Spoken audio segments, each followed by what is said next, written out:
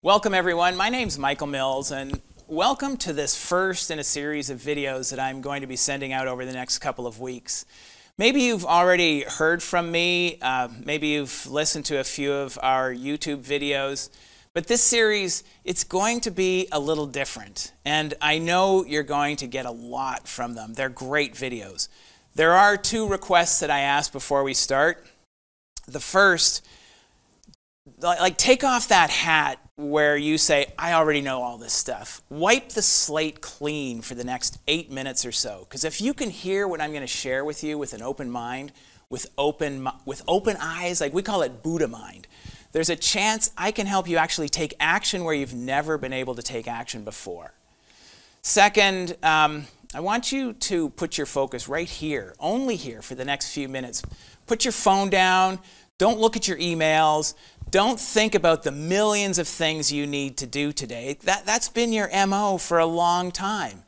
And I want to show you how you can get to a place where all of that changes, where you can do what you love doing without the stress and pressure that consumes most of us entrepreneurs on a daily basis now, because you're watching this, I'm guessing you are a business owner. Um, that said, in this video, I'm going to share a story with you that I know is going to sound, I think, pretty familiar. One that is surely about someone you know. It might even be about you.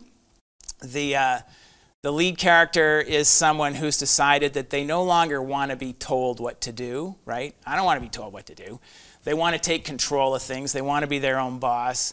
They want to make lots of money they also probably want to make a difference in some way, and they want to get more of what they want from life. In fact, they've most likely already started along this path, but things didn't quite work out the way they had imagined it would be.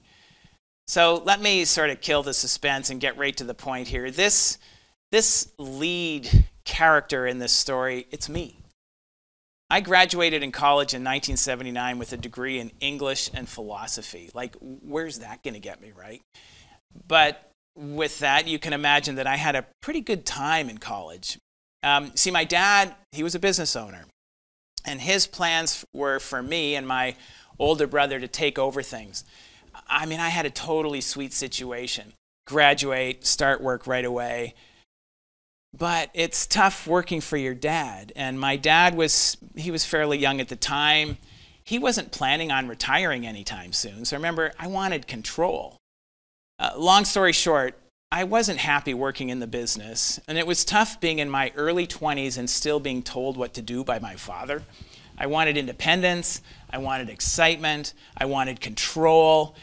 Apple had just come out with the Apple IIe. Um, I don't know if you guys remember that, but it was a long time ago. So, brash as I was, I hired a couple of programmers, created a software company, we were computerizing art galleries, and I moved the company to New York City. And I had an amazing time, man. I was young, I was invincible. I was going to be the next Bill Gates. I was going to retire early and drive around in a red Ferrari. Well, remember I said a moment ago things didn't quite work out that way.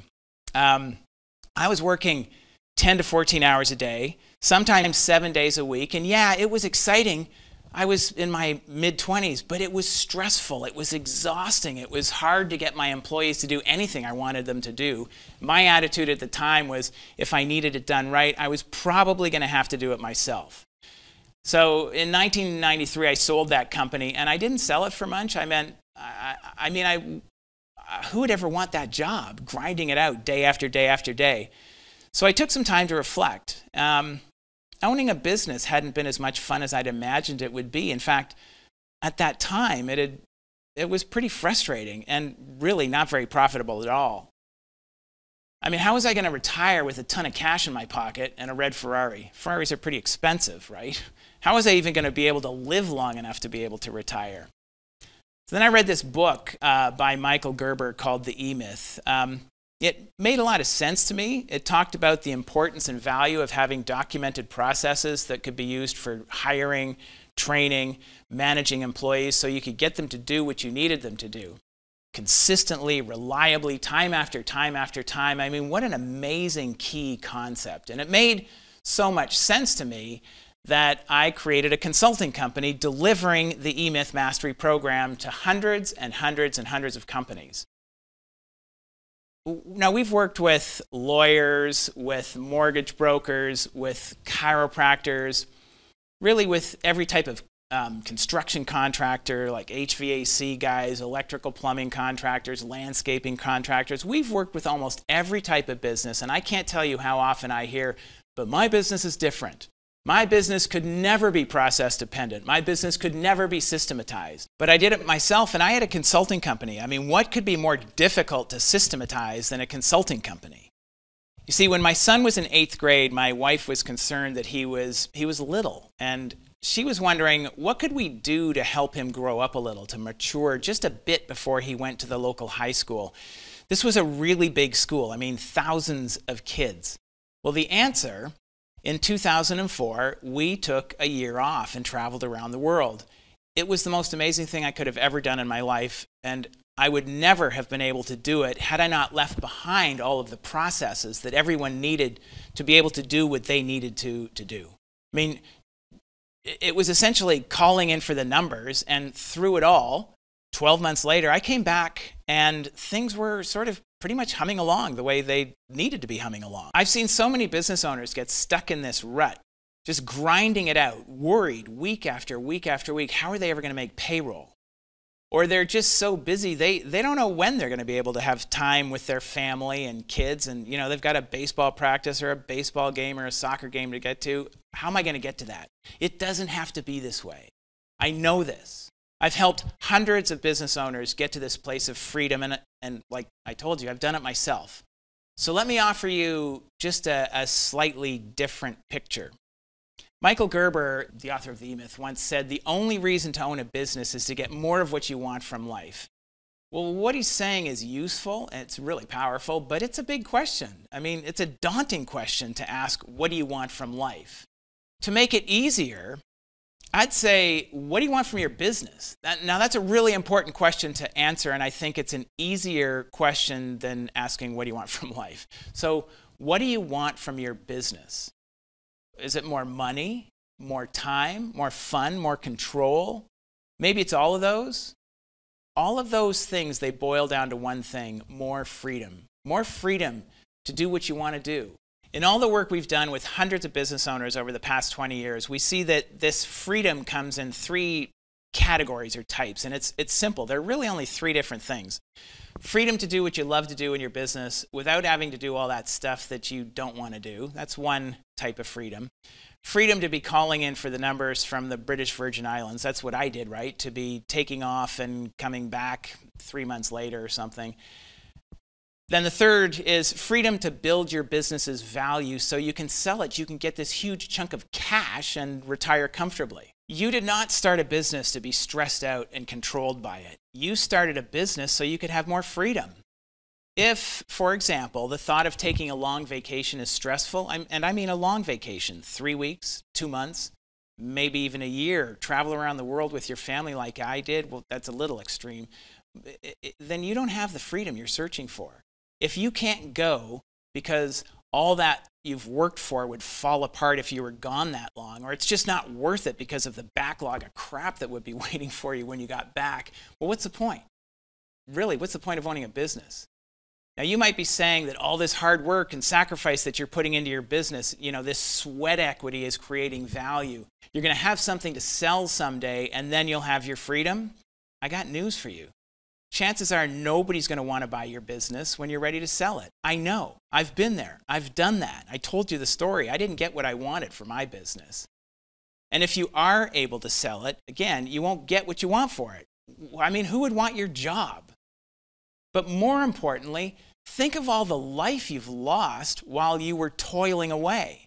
If you started your business when you were in your late 20s or 30s, and you're grinding it out until you're in your late 60s or 70s, you've already lived the best part of your life. It's gone, it's over. But if it's easy to get away, if your business runs like a well oiled machine, whether or not you're there, well, that business is it's worth a ton of money. And it's, and it's in fact, it's serving you, it's giving you what you want. And frankly, you probably don't need to sell it because it's giving you so much freedom. You're, you're living your life to the fullest. Okay, so how do you get that freedom? What characterizes a business that can run like a well oiled machine? You know, there are tons of books on this topic. All of them talk about the importance and value of having standard operating procedures, but not one of them tells you how. How to create a process dependent business. They all tell you that it's a really good idea, and it is a really good idea, but how? Well, that's what we do, and that's what we're going to show you. I'm going to give you some very practical how to knowledge that will assist you with the creating a business into one that can run successfully like a well oiled machine, one where you could be calling in for the numbers. So, like, how does that sound? So, here's an action step you can take right now. There's a link on this page where you can download a complete set of process names. It's essentially a template for a general business. We've developed this list after working with hundreds and hundreds of different types of businesses in all types of industries. Now, your business will not need all of these processes, and your business will need some processes that are not on this list, but it's a great framework from which to start. It's a spreadsheet. There are four different worksheets in that spreadsheet. Each worksheet represents a different key function in your business. And each key function is organized into subcategories or subfunctions. Go through the list, delete the processes you don't need, and add any additional processes that you may think of as you're going through this exercise. So it's a great exercise.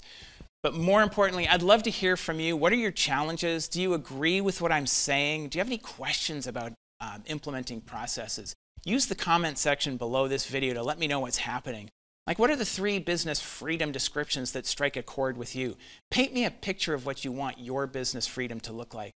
This is Michael Mills from Business Design Corporation and the Touchstone Business System, and I will be seeing you again in the next couple of days.